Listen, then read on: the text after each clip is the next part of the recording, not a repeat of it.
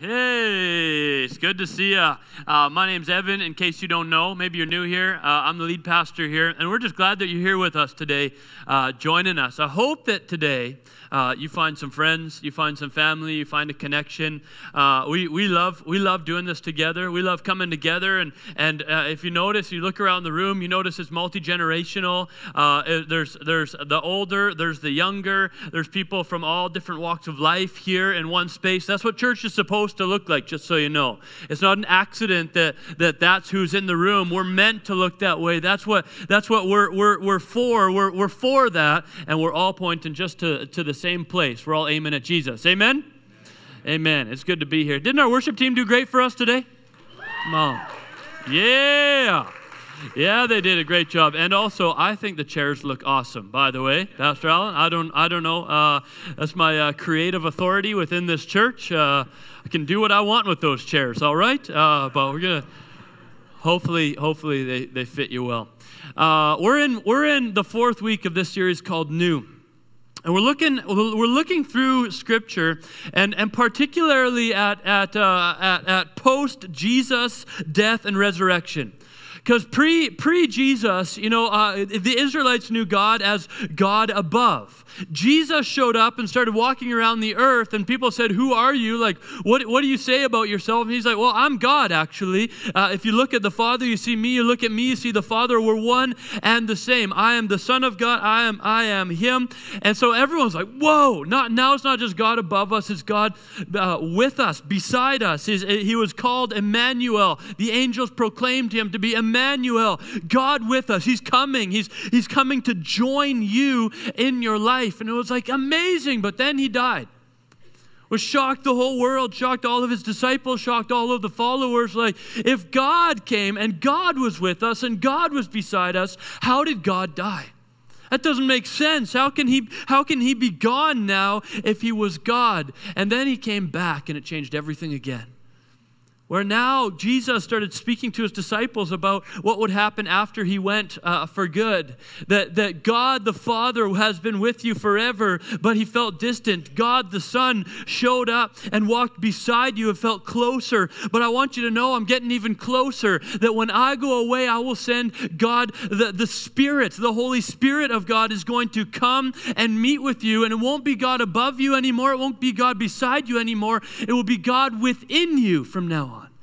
That you actually get to walk out the power and life of the Holy Spirit in your life, that God actually gets to move through you in your life. And so we really believe that as a church, that when we become Christians, that the Spirit, that the Spirit comes and, and fills us, and that actually there's this thing that happens later on in the Bible, that, that there's this baptism of the Holy Spirit where there's this outflowing, this, this uh, overtaking, where there's these new gifts, new power, new, new life, new hope, new courage, new all of this new stuff started taking place at that point. That's what we've been talking about the last few weeks.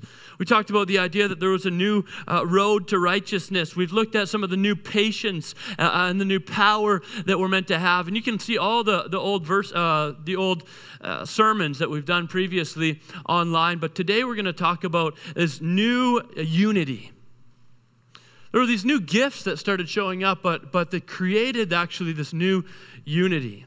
I like the prophecy that came uh, hundreds of years before, Joel 2 28 to 29. It says, And afterward, and Joel's talking uh, as a prophet, he's talking about what God is going to do after Israel's really dark season. They were in a really challenging time. They were overcome by this, this, this tyrant, powerful empire at the time. Uh, they were heading into, into just darkness for, for years. And it says this And afterward, I will pour out my spirit on all people. Your sons and daughters will prophesy. Your old men will dream dreams. Your young men will see visions. I love it. It's, it's old men, young men, uh, women, and men, even on my servants. So he says, not, it doesn't matter where, where, where, what class of society you're in, on all people, on both men and women, I will pour out my spirit in those days. I love that picture of what God wants to do.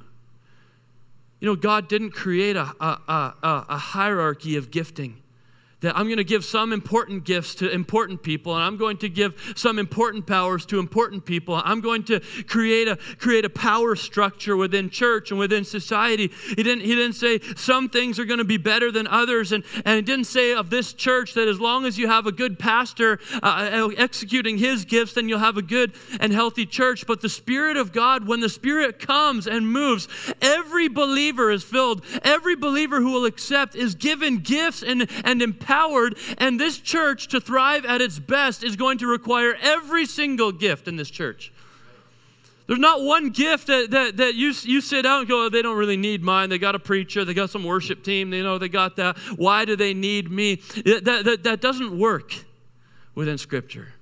There's not one better, there's not one more important, there's not one lesser.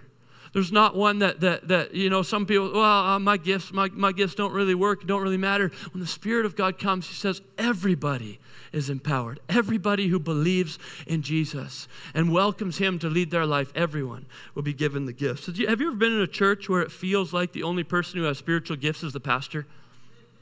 You know, or you feel, it feels like the only person who has who has any eh, who has a job in the church is the pastor. I don't know if you've ever been in a church like that. I have been in churches like that where it's like the pastor is greeting in the parking lot, which I do actually, especially for the service. But anyways, it's like, yeah, hey, hey, welcome to church. Come on in. Yeah, yeah. Why don't I just walk with you? And they get to the front door. Let me get the door for you. They come on in. Like, hey, let me get a seat for you. There you go. And I'm just gonna head up on stage and play my intro song. Ding ding, ding, ding, ding, ding. Put down my guitar. I'm like, hey, hey, hey, now it's time for me to preach. And prayer team, can we come on up? Yes, here I am. Da, da, da, da. Here I am to pray for you. Like, where the pastor's just doing everything.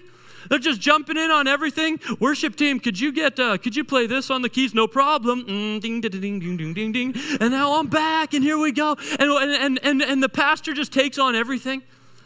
It's ridiculous. It's not a picture of the Bible. It's not a picture of when the Spirit was supposed to fall. It's not a picture of how God is moving. It's not a picture of multiple gifts. It gives the impression that the pastor gets gifts and no one else does. That the pastor gets the Spirit and no one else does. That the pastor is empowered by God and no one else is. And that the pastor is the only one. Uh, the church is going to thrive and the church is going to be taken care of and the church is going to be good as long as the pastor does what the pastor is supposed to do. I got to tell you, that's baloney. It's not true. The church thrives when the pastor executes and walks in his or her gifts and when every other person walks in his or hers. Not, not some people, not. Not a few of us, but all of us. When, uh, when, the, when the Holy Spirit came, um, when there was this new work in the church, all of a sudden these new gifts started showing up people were able to start to do different things. They, they started seeing healings taking place on a, on a growing, in a growing way. They started seeing prophecy taking place in a growing capacity. More people were preaching, more people were teaching. There were more people uh, uh speaking in tongues and discerning, uh, uh discerning spirits, and all of this stuff started happening. And so, and automatically, people started deciding which was the better one and which one was more authority, had more authority, which one to like. Let's let's look at who has the best gifts, and and I want that gift, and if only I could be that gift. And Paul shows up and he starts writing these people about this in 1 Corinthians 12, 4 to 11. We're going to look at it because sometimes gifts, the new gifts, can create a lot of dissension.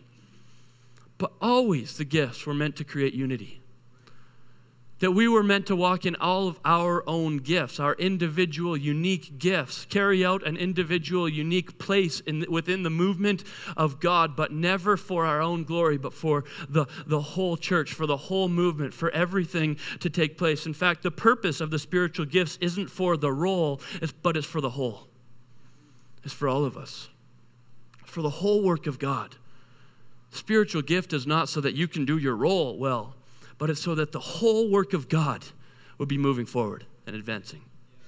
1 Corinthians 12, 4 to 11. There are different kinds of gifts, Paul says. But, I like the but. But, hold up a second. There are different kinds of gifts, but hold up a second because if you think that it's all about the gifts, I want you to tell I want to tell you I'm not talking all about the gifts. Just like last week when we were talking about the fruit, I wasn't talking about fruit. When we said there were all sorts of new fruit, it wasn't about the fruit, it was about the tree, God changing the actual tree. And the tree came from the Spirit of God. In other words, Paul is going to talk about fruit, he's going to talk about gifts, but he doesn't want you to have fruit and have you to have gifts. He wants you to have the Spirit and do what the Spirit asks you to do. And so here he goes. There are different kinds of gifts, but the same Spirit distributes them. There are different kinds of service, but the same Lord. There are different kinds of working, but in all of them and in everyone, it is the same God at work. You, Paul won't let you think about a gift without thinking about the giver. He won't let you think about what you're good at without thinking that this is actually what God is good at, not me, anyways. He won't let you go, oh, well, actually, I'm uh, sorry, I'm a, I'm a real great preacher.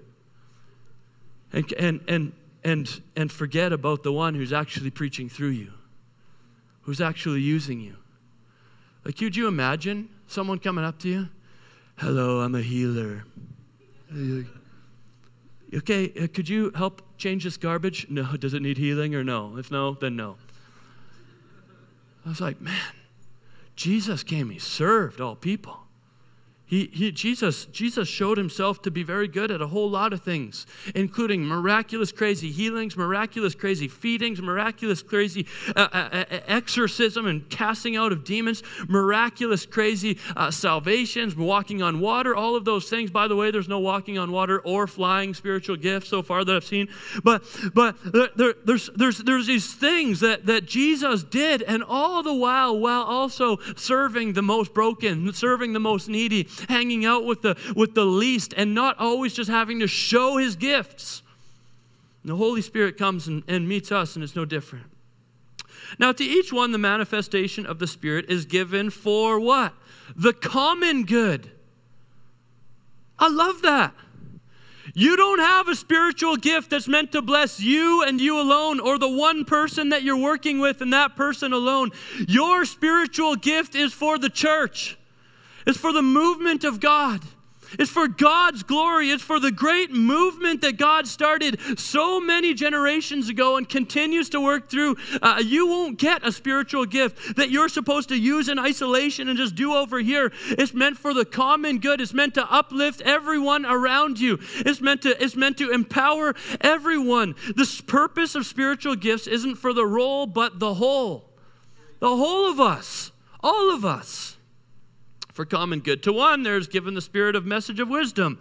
To another, a message of knowledge by means of the Spirit. To another, faith by the same Spirit. To another, gifts of healing by that one Spirit. To another, miraculous power. To another, prophecy. To another, distinguishing between spirits. To another, speaking in different kinds of tongues. And still another, the interpretation of tongues.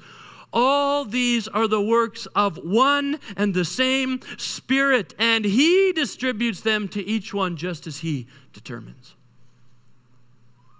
See, sometimes we go through that list and we go, oh, okay, what's most important? Am I the healer? Am I, am I encouraging? Am I a preacher? Am I a teacher? Am I, am, I, am I discerning? Which one am I? Which one should I figure out? Uh, am I? And Paul spends way more time in that very chunk of scripture telling you that it's all from one spirit than he tells you about one gift. He tells you all every time. He won't even go past three gifts without saying, but it's from one spirit. Hold on. It's not about the gift, it's about the Spirit of God. It's not about what you can do, it's about God moving through you. It's not about just, just one, that one thing you've got, it's about the great work that God wants to do in this collective of people. One spirit, one team, no stars. I had, I had, a, I coached basketball uh, for quite a few years, uh, grade 9, 10 basketball at Victoria High School. And, uh, and in, in, in Vic High, uh, it, was, it was a pretty, it was a fairly rough school. And uh, when I'd go there, we'd show up, and there'd be there'd be a, a, few guys who have, you know, they've been playing some some street ball, and they've been they've been playing basketball out on the courts, and they're they're pretty used to running the court themselves. They're pretty used to not passing to anyone, pretty used to not not sharing with anyone. They just want to tell you, hey, hey, you know, I, I'll take it. Just get me the rock, you know, get me the ball. I'll take the hoop, no problem. And so they're going, and they're get, they're just destroying our team. Our team's getting just defeated like crazy. They might be the best player in the league, but their team is the worst team in the league because they can't figure out how to pass. They're going to ruin every team that they go on because a team is always going to be better than an individual. And sometimes we think our individual gifts is, a, is, is what we're supposed to uh, uh, walk with. And so this, this one guy had to bench him all the time. Like, you're out, man. You got to sit on the side. I'm going to put in this point guard who's a lot less of a player than you, but makes the team a lot better than you because he plays on a team instead of playing as an individual. I love this that the Spirit, he says, it says, He distributes them to each one just as He determines. You can picture the Holy Spirit looking at the Comox Valley or Alberni Valley or the island, and okay, let me see here. Northgate Church is going to be there. I like it. Now, what do we got in the neighborhood? Okay, we're going to need this. We're going to need that. Okay, there's someone. They look willing. Okay, okay, and I'm going to do this, and, and that person's praying for it. Boom. Okay, there we go. What a team. This is awesome. Ding, ding, ding, ding, ding, ding, ding. And everything's lighting up. You know, this Holy Spirit, like, oh, I like this. Look at this. Wow. And then all of a sudden, that light goes out, and that light goes out, and that light goes out, and that light Holy Spirit, like, what's going on? Like, what's happening? Where's everyone going? Like, oh no, they want to play their own sport. They want to get their own glory. They want to, they want to celebrate their own gift. They want to tell everyone that their gift is better than the other gifts. And the Holy Spirit's like, oh man, well, I better bench them and start building someone else up. Some of you are like, no, no, no. As long as I'm walking in my gifts, then I shouldn't be benched. This, is, there is no denying here. Your gifts are not for you. They're not, it doesn't, he doesn't even say at this point that they're for God. He says they're for the common good. Is the common good for God? Yes. We're doing the common good for God, but he doesn't say use them for God and avoid the common good. He says they're first through for the common good. Your gifts should grow this church. Your gifts should expand God's kingdom in this Comox Valley. If you're part of this church, then I have a lack that you fill with your gifts. If you're part of this church, then this whole pastoral team has a lack that you're going to fill through your gifts and what you have to offer. Because God didn't want this church to grow because of me or our pastoral team, but because of us, moving in His Spirit, through His gifts, through His empowering, and His grace. Amen? Amen. Paul goes on. We're going to jump, jump around a bit here, but 1 Corinthians 12, 14 to 20, and then 26 says, Even so, the body is not made up of one part, but of many. Now, if the foot should say, this is Paul's attempt at humor, he's hilarious. Now, if the foot should say, Because I am not a hand, I do not belong to the body, it would not for that reason stop being a part of the body. I love that. Like imagine your foot, literally. Like Paul's, Paul's like trying to paint a pretty clear picture here, and I think we get it. I think it's pretty clear. Imagine your foot, you looked at your foot and all of a sudden it was a hand. You know, that'd be freaky. You know, you'd be looking at like, what kind of shoes do I put on this thing? Like, how do I handle that thing? And she, he says, just because your foot says it's, it's, a, it's a hand, or if it's not a hand, I don't want to be part of this body. I'm going to try to be something else. You don't all of a sudden uh, uh, uh, make it work. Your body can't just make it work all of a sudden. If both of your feet said, I'm now hands, like I just want to be a hand, and that's all I want to do, you can't, you can't function that way. Or, or, or my hand was all of a sudden a foot my hand said, Well, I'm not a foot, so I can't even move this body. This is, this is annoying. I'm trying to get over there, and my hand's stuck over here. I need to become a foot. Become a foot, and the foot pops up to the hand, and like, it's just creepy. It's like a scary movie all of a sudden. Like, what do we got here? Like that, that, that just looks looks bizarre. The ear starts saying to the eye, I, I, I think I want to become an eye, and if I'm not an eye, I'm not going to be a part of the body. You can't imagine the ear saying that because like ear, I need to hear. I need to listen. I need, I need, I need opportunities. Yeah, but uh, you're always using your eyes. It's not fair. I want to be the eye. You're always using your feet. I want to be the foot. I, I, I, just, I just don't, I just, I'm, I'm tired of being walked on. I want to be reaching, you know? Or, and, and we're just talking about these awesome appendages with lots of moving parts. Imagine if you had to be the elbow. Oh, you, you, look at your elbow, you think, what a useless thing. Like, that doesn't get to do anything. Like, this, this is the one that gets all the credit. You don't call it an elbow shake because it's a handshake, right? You know, all of these parts of the arm shook the hand, but you don't give the credit to all of these parts of the arm, just the hand. Imagine you're the elbow of the church. What's your job? Elbow. What do you do? Bend. That's it. Bend and I help the hand do what the hand needs to do. What do you do next time? Help the hand do what the hand needs to do. I listen to the brain, I follow my, the rule, I reach, and the hand gets the credit again. You know, some of us are going to be that in the church. Some of you are elbows. Amen? Some of you are meant to be elbows. You're gonna, you're gonna, you, some of us, if we're not walking by the Spirit, we're gonna hate that until the day we die. But if we're walking by the Spirit, we start to say, wow, the Spirit is moving here. Say, well, how's the Spirit moving? By me bending, by me being an elbow. Let me, let me ask you this what's the more important part for digestion, teeth or stomach? you know? Right?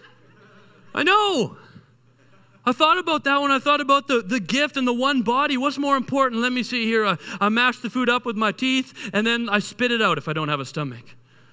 Oh, if I just have a stomach, I like I'm, I'm gonna grab like a, a, a, a watermelon like, like it doesn't work. The body doesn't work that way. We know that about our body. We know that some of the parts seem kind of useless, and yet they have in, infinite use.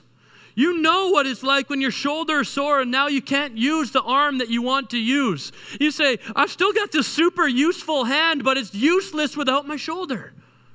It loses so much of its use without my shoulder. Body's the same way.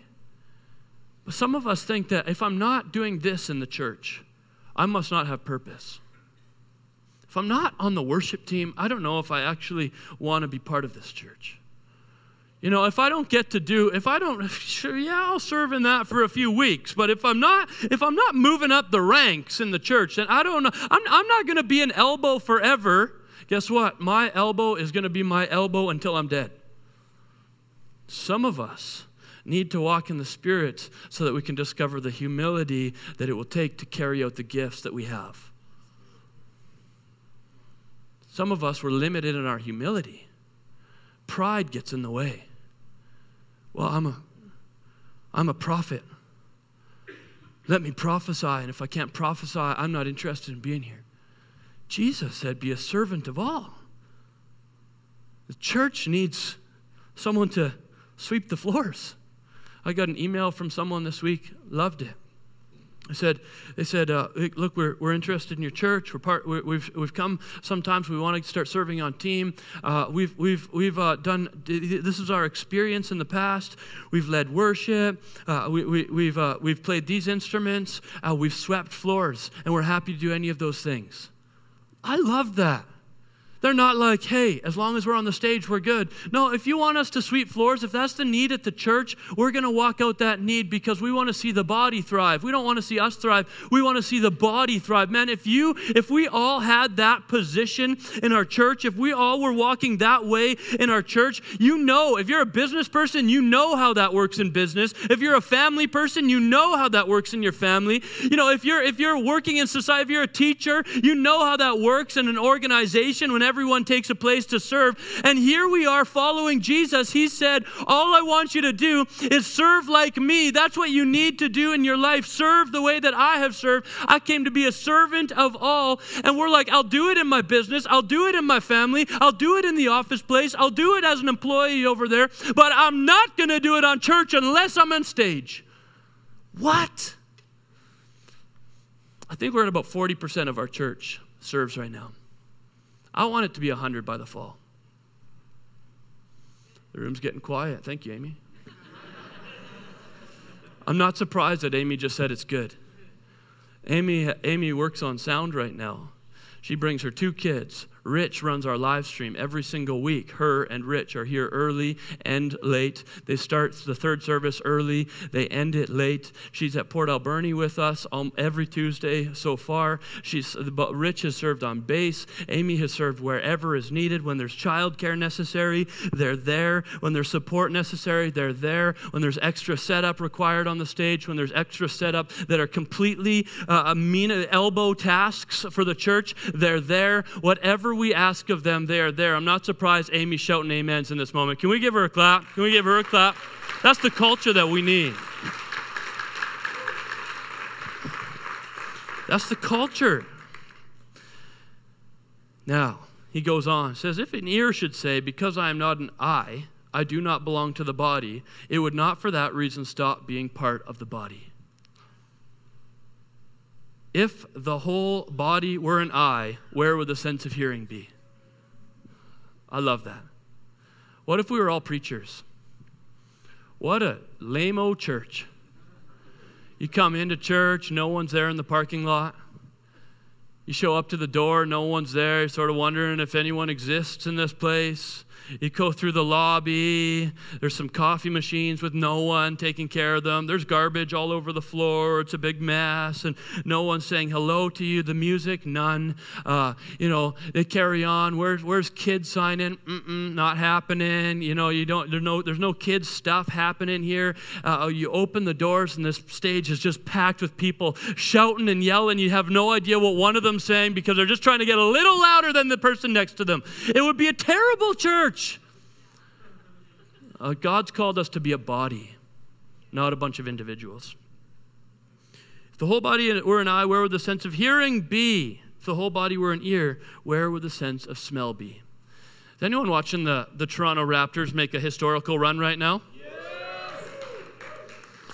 If you don't, if you don't know who the Toronto Raptors are, they are they are Canada's basketball team. Some people try to deny that, but they are. Uh, you heard it here, um, and and uh, they are they are today's game two of them uh, playing against Golden State Warriors. It's just fun. It's an exciting time right now uh, for Can- Canadian basketball.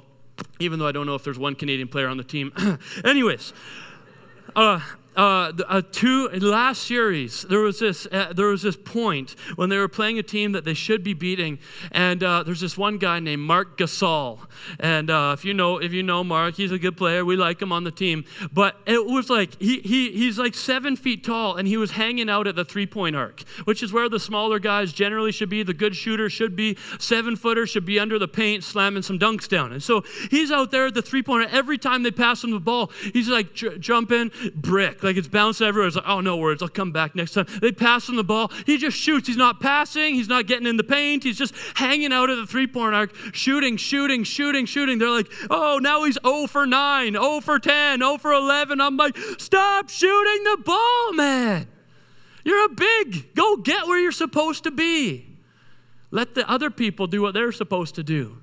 Sometimes we're not going to have the best shot that we need to have. We're not going to be able to perform like the other people are performing. We're not going to be able to contribute like we've been able to contribute. So we need to learn to pass the ball.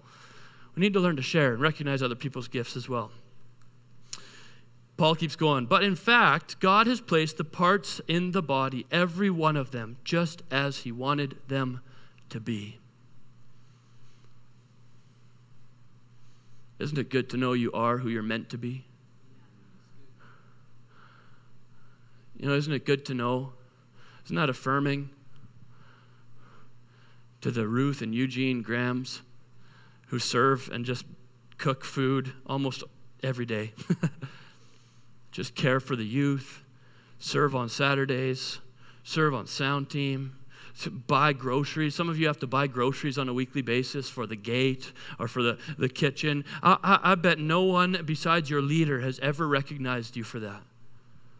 Isn't it good to know that God placed you in that position for that purpose and you have value there? Whether anyone else sees it, isn't it good to know that that's the case? If they were all one part, where would the body be as it is? There are many parts, but one body. If one part suffers, every part suffers with it. If one part is honored, every part rejoices with it. Worship team, you can come on up.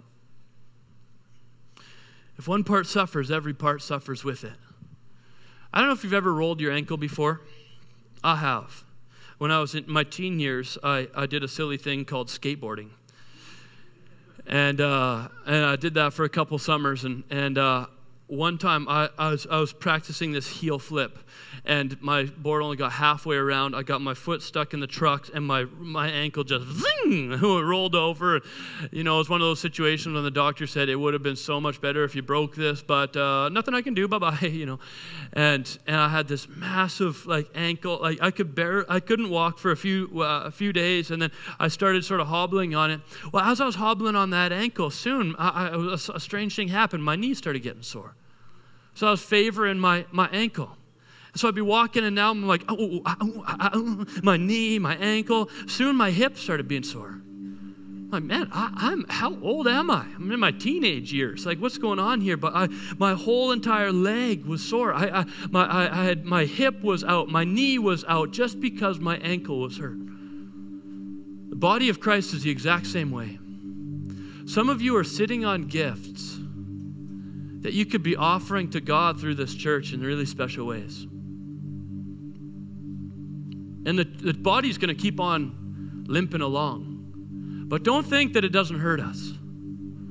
Don't think that it doesn't hurt when you say, ah, ah, I'm just not going to worry about serving there. I do plenty elsewhere and doing that. Don't think that that doesn't hurt us.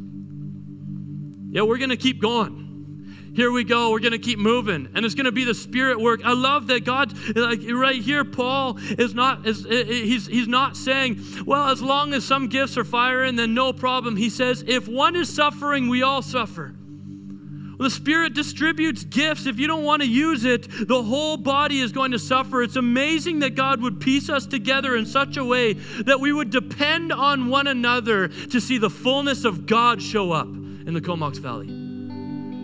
Isn't that a shocking concept? No, shouldn't we just depend on the Spirit and I'll just do what I'm supposed to do and that's it? No. It's not what the Bible teaches, anyways. The Bible doesn't say just go to the Holy Spirit and, and do whatever you're supposed to do and away you go. It says that if the body is suffering, so are you. If the body doesn't have you because you're like, no, I don't want to do that role. I'm going to be over here being a hand, even though the church needs me to be a knee over there. I'm not going to do that. I've got to do this thing. The whole church feels it. God, God calls us this way. So I'm just going to put one response on your on your radar. Um, fall is coming. I know some of you are like, summer's not even here.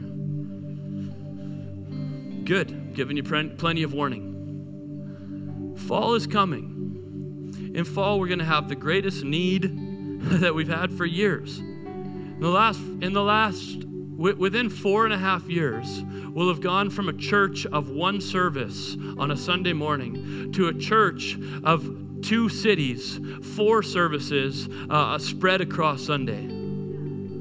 That's a big shift.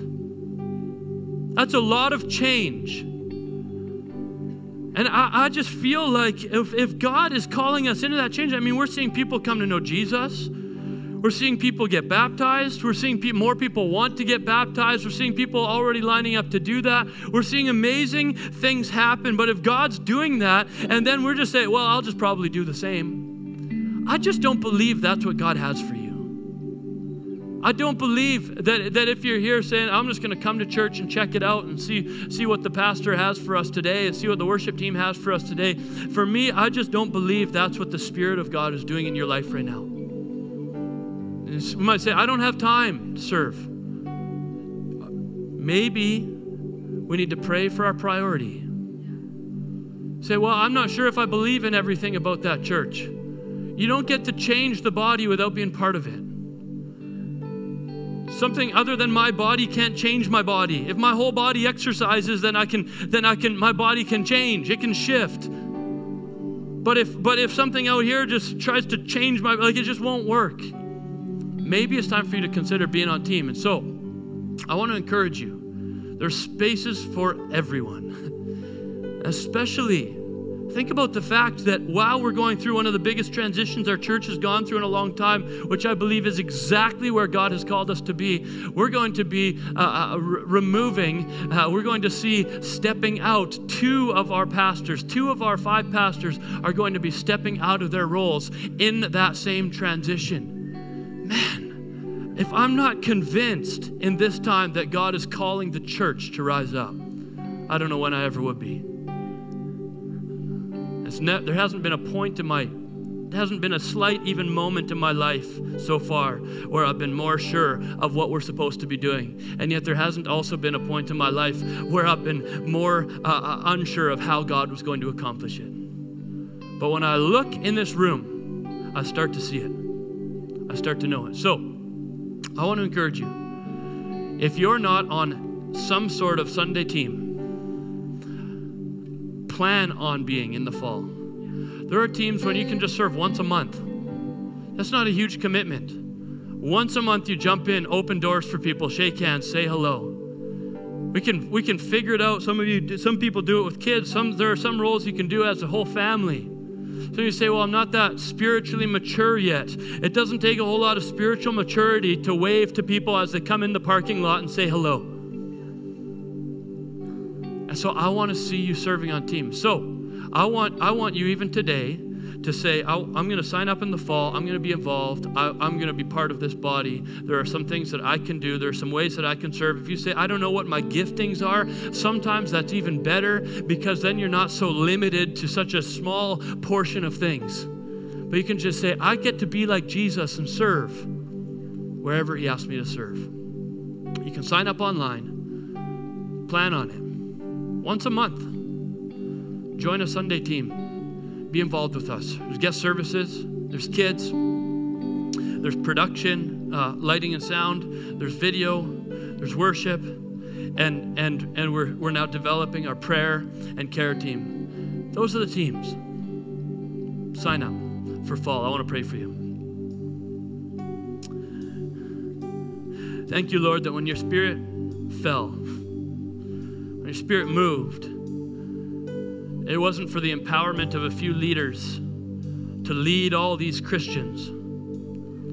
It was for the empowerment of every believer to step into the, the Christian faith, to step into the work that you were doing. Thank you that you have roles and positions for every person. Thank you, God, that you want to use us. Thank you, God, that you have plans for us. Help us to walk with you. Help us to lean on you. Help us to wait on the Spirit and discover who we are. But God, I pray that our discovering who we are doesn't keep us from serving wherever you go.